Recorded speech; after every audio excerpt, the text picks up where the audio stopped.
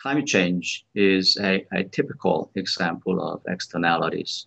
And uh, the way to correct that ex- externality problem is to have a price on certain activities that cause that externalities. And uh, in our case, is a carbon carbon a price on carbon emissions, and uh, what you may call the carbon tax.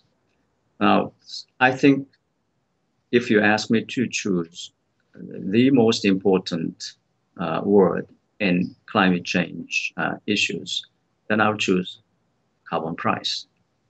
And uh, this, because this is the driver to put us into the right track.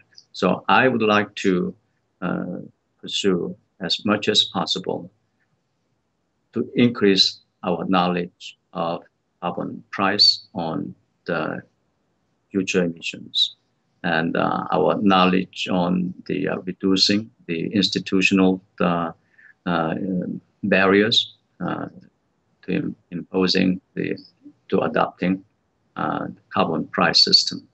And I, I think it is a tremendous challenge to the researchers around the world, but it's a very exciting area.